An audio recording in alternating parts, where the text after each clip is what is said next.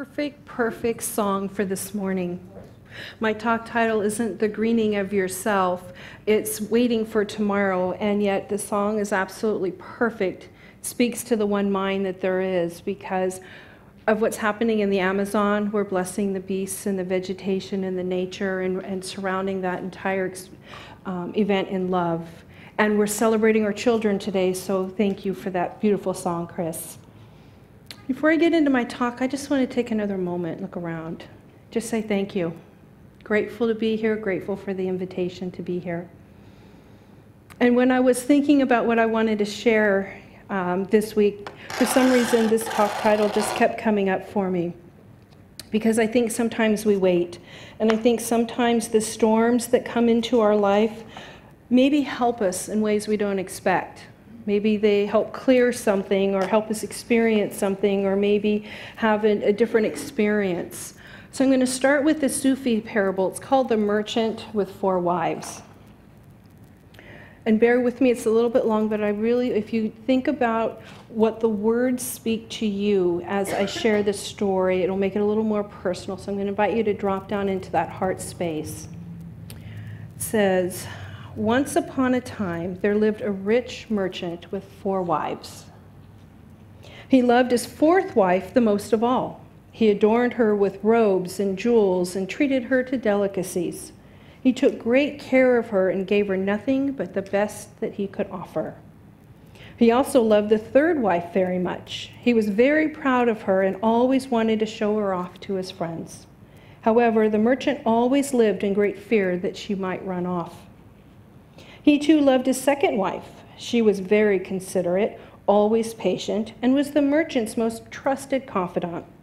Whenever the merchant faced some problems, he always turned to his second wife, and she would help him through those difficult times.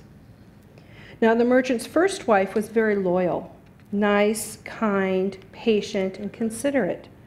She has made many great contributions to him throughout his life with his wealth and his business, as well as taking care of the household.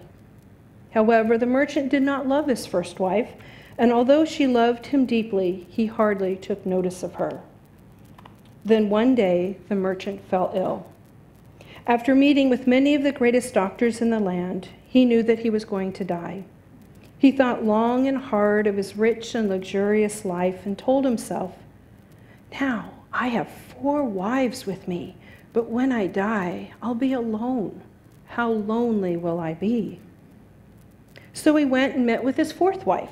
He asked her, I loved you most, endowed you with the finest clothing, and showered great care over you.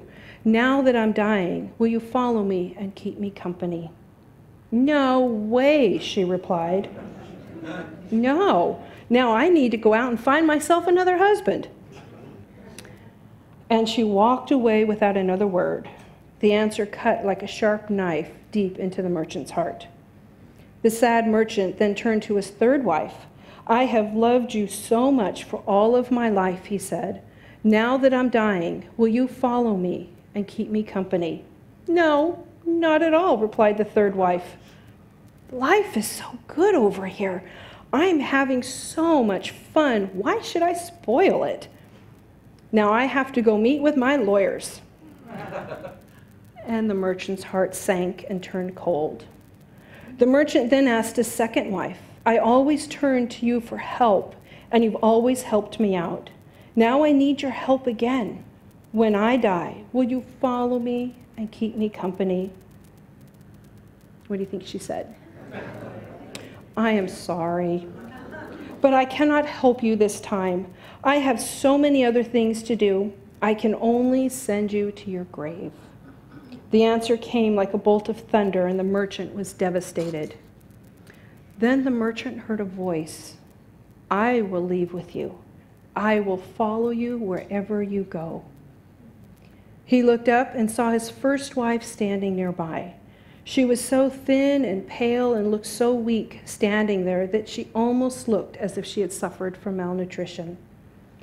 With his heart full of sorrow, the merchant cried and said, I should have taken so much better care of you when I could have.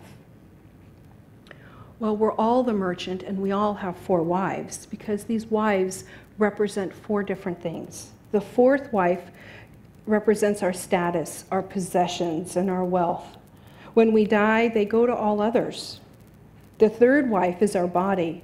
No matter how much time and effort we lavish towards making it beautiful and healthy, it will leave us when we die. The second wife is our family, our friends. No matter how close they are to us when we're alive, they can only be with us up until the grave. But the first wife, the first wife is our soul. It's often neglected in our pursuit of material wealth and pleasures, while in truth, it is the only thing that follows us wherever we go. And the time to love that first wife is now. And that's what leads up to my talk about waiting for tomorrow. Don't wait for tomorrow when everything happens in the now. We teach in our philosophy the present moment. Ernest Holmes says we should believe that God is the invisible partner in our lives and affirm that divine love goes before us and prepares the way. So, if divine love prepares us for the way and guides and directs us, we have to listen. Do we open our hearts to stand in our truth right now, or are we waiting for tomorrow? Are we waiting for something else to happen? Are we waiting to accomplish this, or get this, or get that? It's kind of like destination anxiety. We're never happy. But we have this very moment. Stay in the present moment, being who we are, who we're called to be. What is it that we want to set an intention for? In a short bit of time, not much longer, we'll be asking our children, our youth, to share their intention for the new year. And we'll be supporting them in that intention. What if we also create our own intentions? Do that same homework assignment in our own lives. Maybe it's an intention that we set for ourselves. Maybe it's an intention we set with Spirit within Maybe it's an intention we set with our colleagues. Stephen Covey says you can have more than one intention. Write them down with the different people you're setting those intentions with. But the most important one is the setting the intention with yourself and your higher power, your spirit within. We use a lot of words for God in our faith love, law, divine presence, wisdom, abundance, joy, beauty Whatever word speaks to you, maybe it's Buddha or Kuan Yin or the Christ. Whatever that word is that calls forth to you, allow that intention to seep deep into you so you embody it with your whole being. They say the longest 18 inches is from your head to your heart.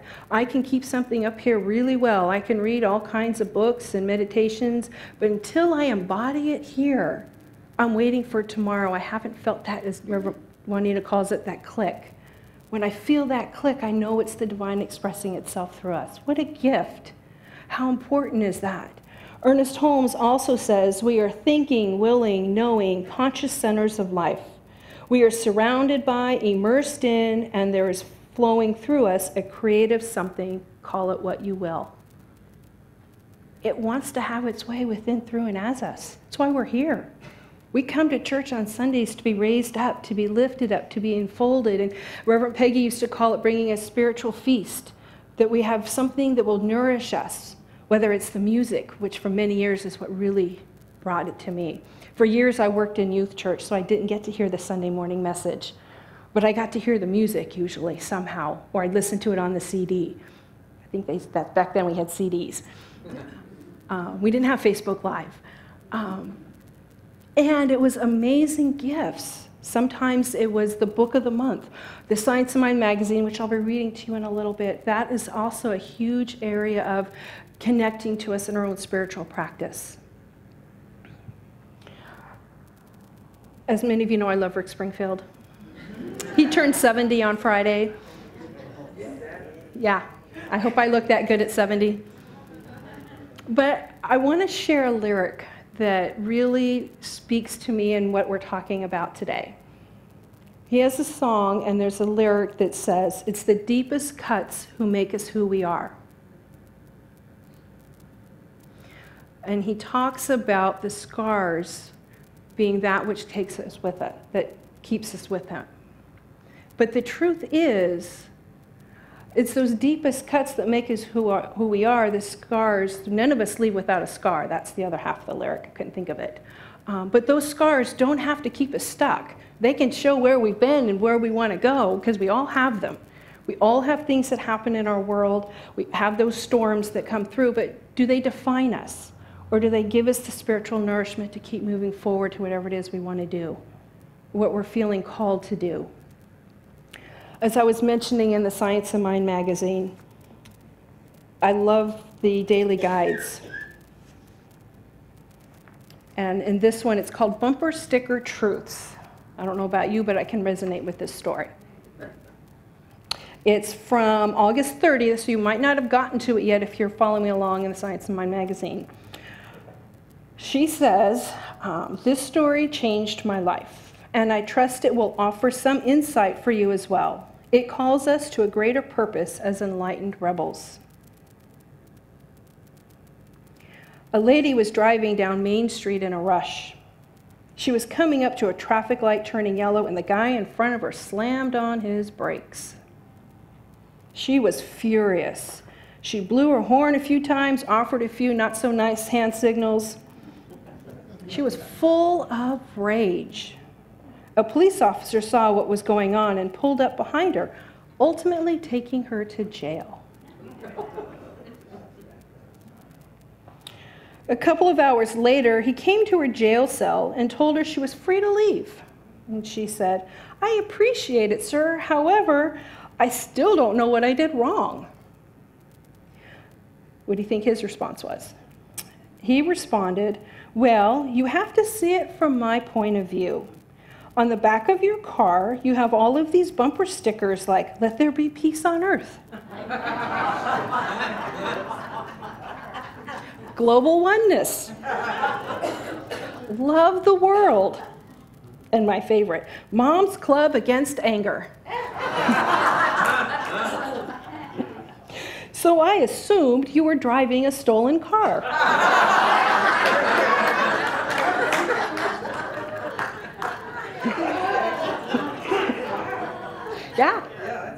A good one. Too many times we have allowed our lives to be stolen from us by a moment, an incident, an argument, or a misunderstanding. We are living in a time that we need to be congruent with our message and live in such a way that reminds the children that we believe in change and are an advocate for a world of peace. Physical life has an expiration date. Are we listening? Are we letting these stolen moments kind of guide our life? Instead of realizing in those stolen moments we have an opportunity to anchor into the truth. We might course correct. We might realize we're doing something differently. We might find a way to turn within and start listening and maybe finding there's something else calling forth that wants to come through, but maybe we're scared or we're afraid. But do we find that opportunity to step into that space and say yes? Say yes. And then maybe find another bumper sticker for my car. Because we're human. We're going to have those moments where we feel these this way, that we act in certain ways that maybe we're not happy about. I was sharing with somebody once and I said, I might love somebody, but I don't like their behavior in that moment. And that's sometimes how I feel about myself. There's self love, but there's also an opportunity to do things differently if it's not working for us. So I invite us to really anchor into that knowing us that there is a divine expression wanting to have its way in through and as each and every one of us. And I'm grateful to be here this morning. I invite us to turn within in prayer. and just give thanks. And recognizing and knowing in this very moment there is only God. There, in this very moment, there is that life that wants to have its way within, through, and as each and every one of us. One life, one God, one presence. It is my life right now. Instead of waiting for tomorrow, I step into the present moment, into the now. When I step into the now, I'm calling forth a presence greater than I am that dwells deep within me to guide and direct my life, my actions, my choices, my words. And there's a space of uncertainty, I sit in the pause and listen until I hear the words of guidance, however that is for each one of you.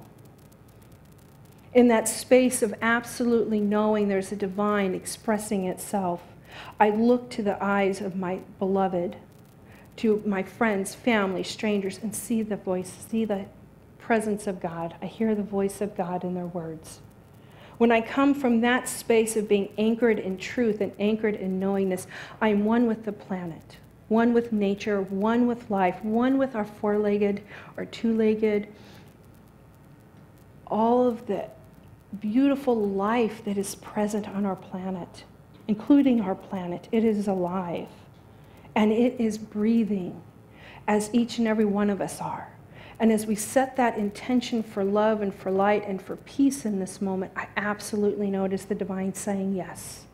With a grateful heart filled with joy and gratitude, I release my word into the law where I know it is done. I let it be, and so it is.